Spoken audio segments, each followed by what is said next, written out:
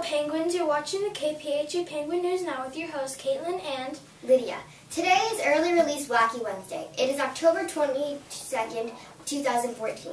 It is the 36th day out of 180 school days. This means we have 144 days left in our school year after today. One math problem for today would be 180 minus 144 equals 36 days we've been in school this year. Can you think of a math problem that equals 36? Our lunch menu for today includes spaghetti, hot dog, American grinder sandwich, turkey wrap, or garden burger. Moving on to our announcements for today.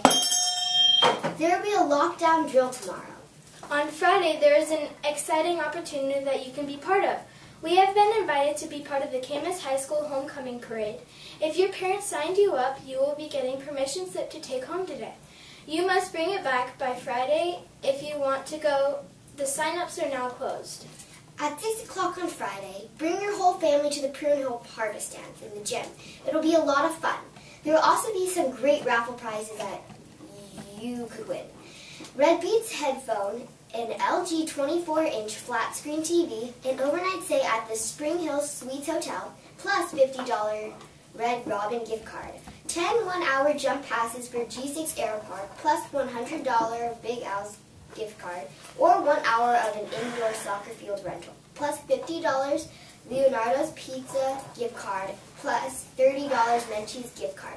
Come on out and enjoy the fun. We'd like to recognize the following 10 Mile Club runners for Ocean Ocean. Alexa Belterzin, Justin Goodman. Goodman, Abby McCormick, Lily Boyer, and Jevin Carr. Way to go, runners! Keep it up. Today we'd like to share a question we asked some people around the school. We asked, how do you like to show people that you care about them? Here are their responses. I like to show people that I care about them by giving them cookies. I show people I care about them by giving them hugs and kisses. I show people that I care about them by hanging out with them and being nice to them.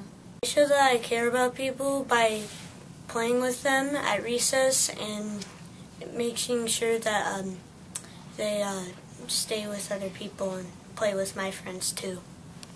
Thanks for sharing with us. We'd like to wish Nicholas in room 18 a very happy birthday! Before we leave you today, we'd like to share a wacky fact that you might find interesting. Did you know that a hippopotamus may seem fat, but they can run faster than a human?